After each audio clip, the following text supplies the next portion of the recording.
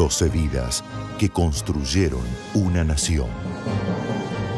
Clarín presenta grandes biografías de los 200 años. Un recorrido por 12 figuras claves de nuestra historia.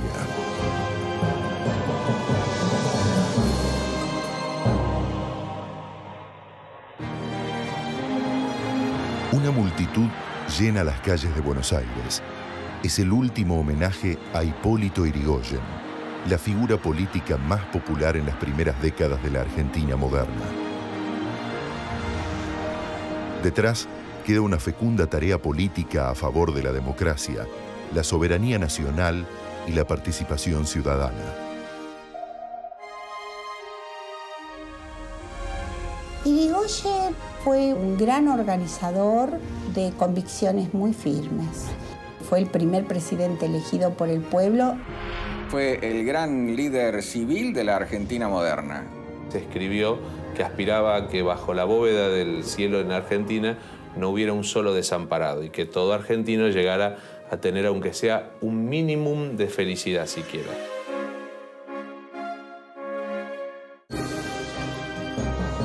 Hipólito Irigoyen, el caudillo radical.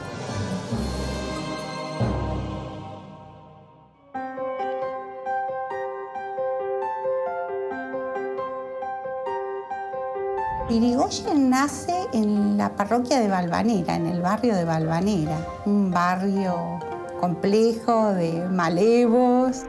Es una niñez de privaciones, una niñez de segregación desde lo político, desde lo social, y además porque es hijo de un inmigrante vasco-francés, Martín Irigoyen Dodagaray, que era carrero. Y la mamá era Marcelina Alem, que era la hermana del caudillo de Valvanera, Leandro Alem. Por mazorquero rosista, su abuelo fue fusilado y luego colgado en la Plaza de Mayo está marcada la infancia de Irigoyen por ese rechazo social de la familia del mazorquero. Y era una familia que le daba mucha importancia al trabajo y al estudio. Por eso Irigoyen se educó en el Colegio San José de los Padres Bayoneses. Sus primeros pasos en la política los dio bajo la protección de su tío. Cuando tiene 17 años tiene un encontronazo con su padre. Entonces se va a vivir con su tío, con Leandro Alén, al cual admiraba. Era un caudillo, un caudillo porteño, vinculado a Adolfo Alsina, el autonomismo que se oponía a la línea más liberal de Bartolomé Mitre. Ahí se empapa de todo lo que es militancia política y también lo que es contracción al estudio. Ya recibido de abogado, se dedicó a las leyes y a la enseñanza. Como abogado ejerció la docencia de tres materias, eran instrucción cívica, historia y filosofía. Y él desempeña durante varios años cátedras docentes fundamentalmente en la Escuela Normal de Señoritas, en la actual Escuela Normal 1 que está en la calle Córdoba y Riobamba. El sueldo del profesor lo dona a una entidad benéfica, lo que después volvió a hacer con su sueldo de presidente que lo donaba la Sociedad de Beneficencia. Sus relaciones políticas lo llevaron a ser designado en otros cargos públicos. Irigoyen llega a la política de la mano del tío con cargos inferiores. Tenía 20 años cuando lo nombran comisario de Valvanera. Desde el inicio de su carrera pública, Irigoyen se mostró descontento e incómodo con el sistema político del momento todavía lo sigue Alem y hacen una incursión por el Partido Autonomista.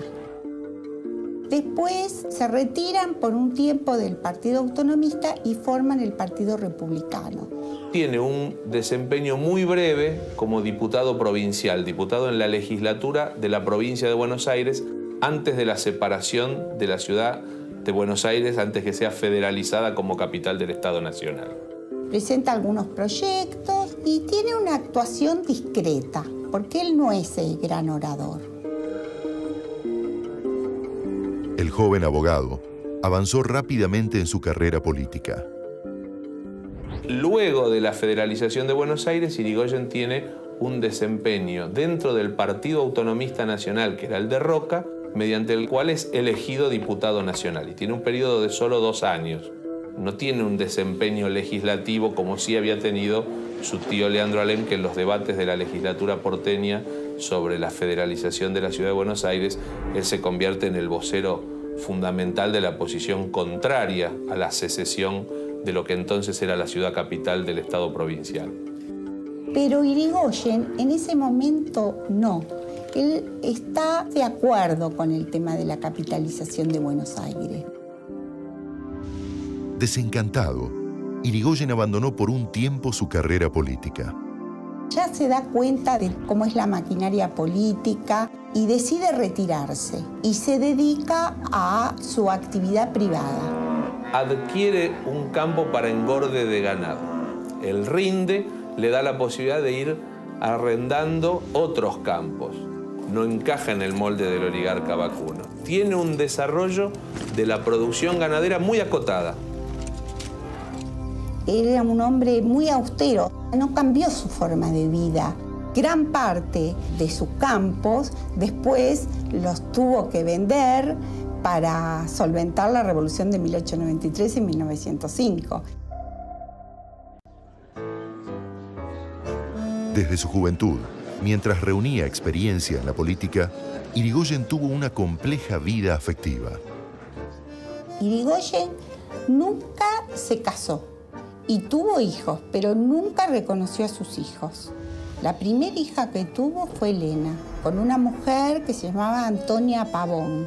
Y Elena, pese a que vivió con él durante todo el transcurso de su vida, nunca la reconoció tuvo una relación con Dominga Campos, que tuvo dos hijos, Eduardo y Sara. Y después establece una relación de la que nace un hijo, Luis Hernán, que tampoco lo reconoció. Dedicado a sus asuntos personales, Irigoyen reforzó la lectura de los pensadores que forjaron su personalidad. Irigoyen era un aficionado a la filosofía. Él llega a Karl Christian Krause a través de la escuela española, los republicanos de la España del siglo XIX. Sanz del Río, Giner de los Ríos, las fuentes españolas del krausismo. Toda su austeridad, determinados comportamientos de su vida, están imbuidos o coinciden con este filósofo. Es algo que él toma como una especie de referencia intelectual, pero la base de Irigoyen es este, la percepción que él tiene de la realidad argentina y la manera de transformarla. El regreso del caudillo radical a la arena política daría origen al primer movimiento de masas de la Argentina del siglo XX.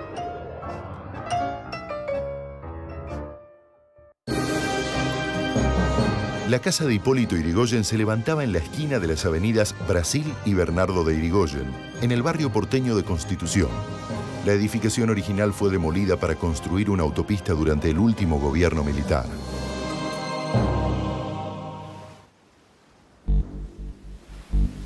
A fines de la década del 80, la crisis social provocada por la inmigración masiva forzó el regreso de Irigoyen a la política. En ese entonces estaba gobernando Juárez Elman, que era concuñado de Roca.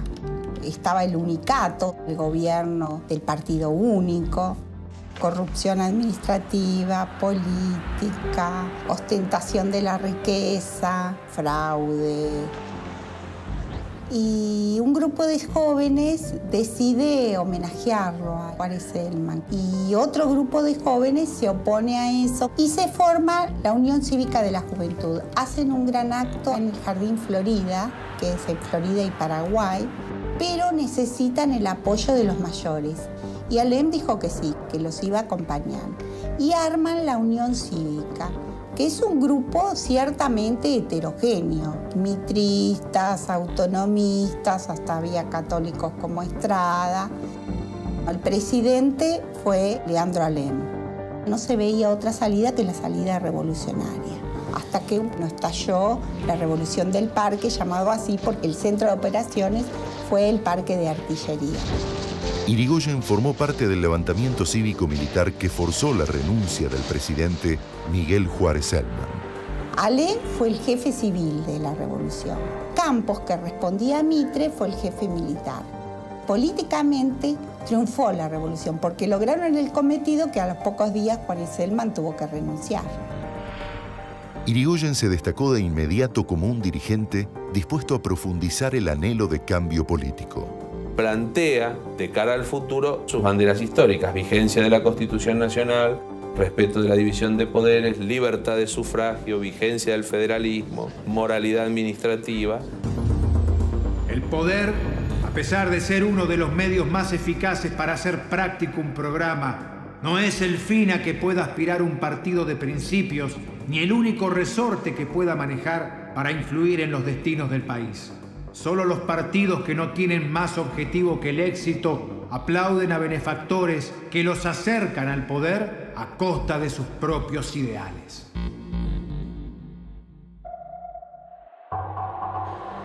La inflexibilidad de sus adversarios empujó a Irigoyen a jugar su carrera política y su fortuna a favor de sucesivas rebeliones contra el régimen.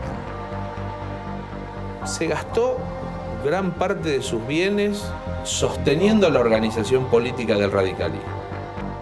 Llega un momento que no hay otra salida que la revolucionaria.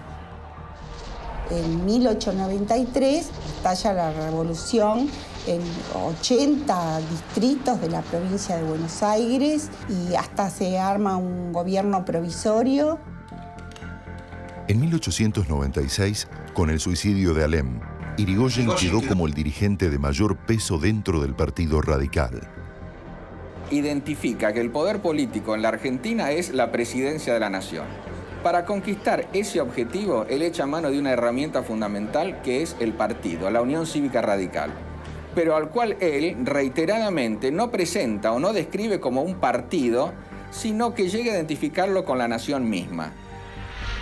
El caudillo radical sabía que debía desarticular la corrupción electoral del unicato para lograr un cambio político profundo estaba la lucha por el sufragio, por el voto secreto y obligatorio, porque en realidad no todos podían participar de los registros electorales. Esas listas eran conformadas por los caudillejos de turno, por los conservadores. Identifica un enemigo, el régimen. ¿Qué es el régimen? El elenco que ha venido gobernando la Argentina desde el 80 hasta comienzos de este siglo.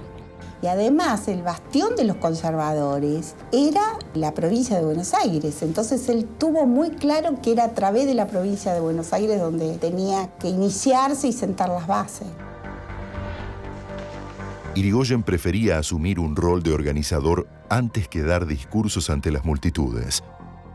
Irigoyen le dio una vital trascendencia al contacto personalizado. Nunca habló en público, no le gustaba que le sacaran fotos, nunca participó de actos multitudinarios, siempre se mantenía en el misterio. Su astucia política y su creciente popularidad en los sectores medios, rurales y obreros forzaron la reforma del sistema electoral.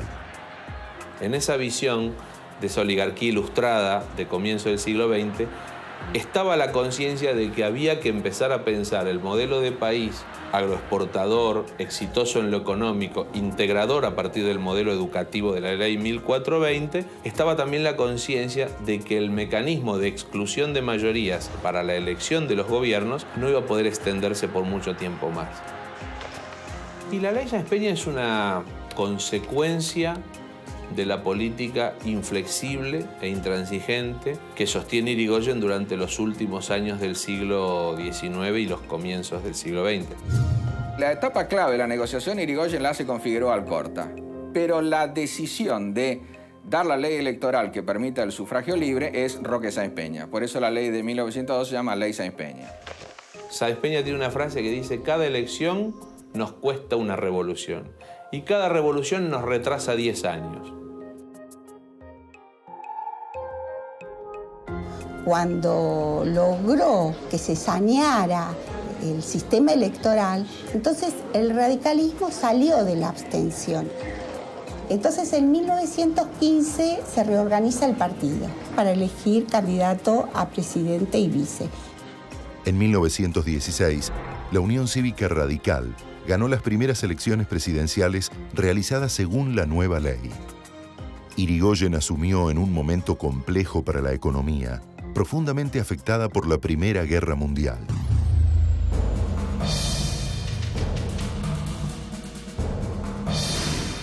Es un momento complejo para la Argentina, es una época de transición en el mundo, hay un clima de alta efervescencia social que sin duda repercuten en el escenario en el que le toca gobernar a Irigoyen.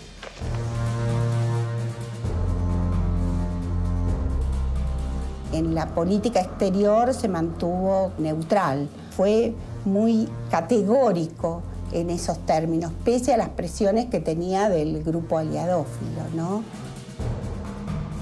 Irigoyen es un defensor de la autodeterminación de los pueblos. Y hay una famosa frase que él le dice en una comunicación telefónica cuando se inaugura el servicio de teléfonos entre Argentina y Estados Unidos, que él habla con el presidente Herbert Hoover y le dice, los hombres deben ser sagrados para los hombres y los pueblos deben ser sagrados para los pueblos. Además de duplicar el número de escuelas y disminuir el analfabetismo al 4%, Irigoyen se planteó una ambiciosa agenda política para su primer periodo presidencial. Irigoyen plantea que el objetivo de su gobierno es lograr la reparación fundamental, reemplazar al elenco del régimen por el elenco radical, que se suponía iba a tener como correlato una democratización plena de la política de la sociedad argentina. Simultáneamente Irigoyen marca tres o cuatro grandes líneas que son las que le dan la tónica a la presidencia, que son la democratización de la universidad, la reforma patrimonial y sobre todo la reforma social.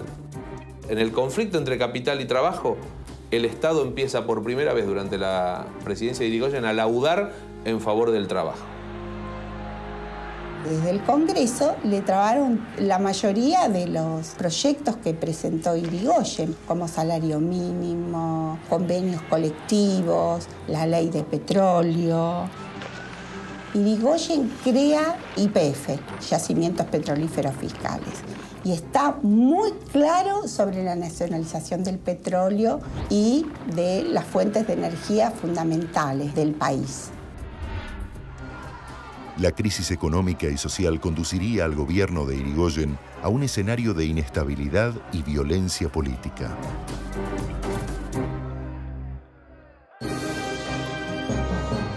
Los sitios que recuerdan la vida de Irigoyen han desaparecido casi por completo.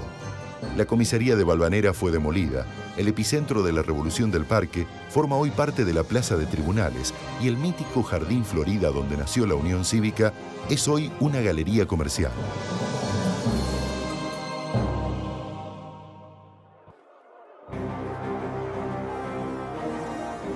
La creciente inestabilidad política obligó a Irigoyen a ordenar la represión de las protestas obreras en diversos puntos del país.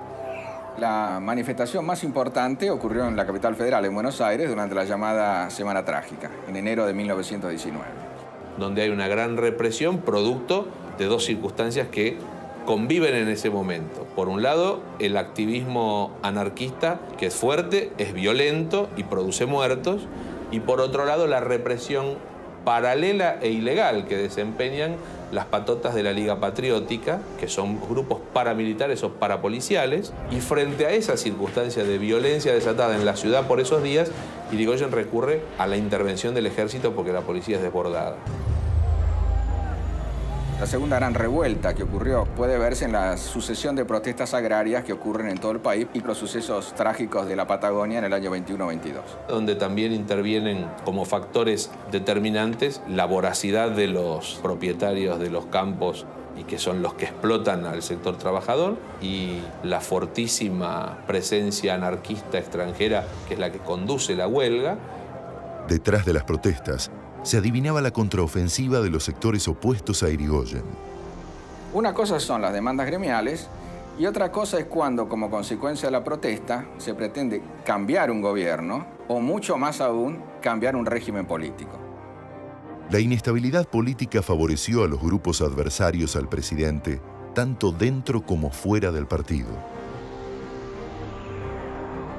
Esto hace que Irigoyen elija a Marcelo T. de Alvear como sucesor.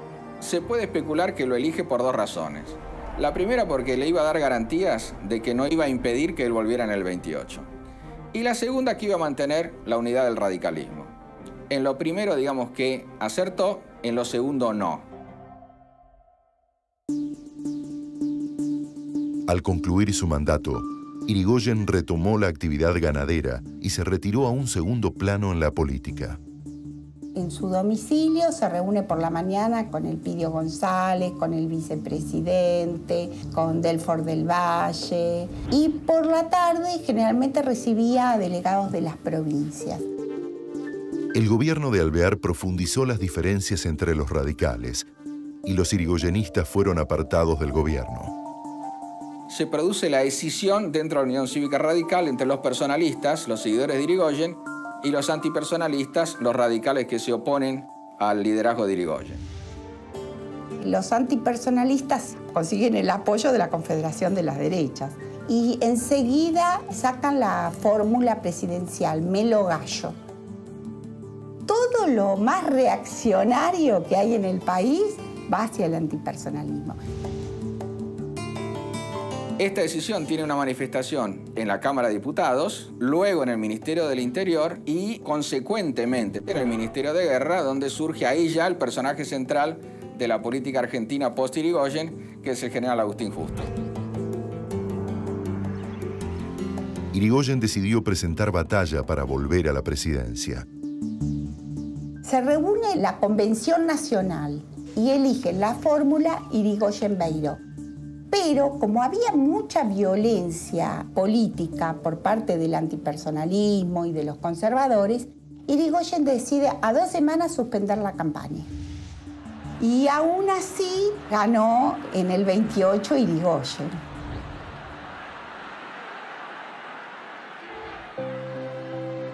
Obtiene alrededor del 57% de los votos lo que era una enormidad para esa época y además la cantidad de votos que saca Irigoyen es el doble de la que saca la fórmula que lo sigue, que es la de Melo Gallo. A los 76 años,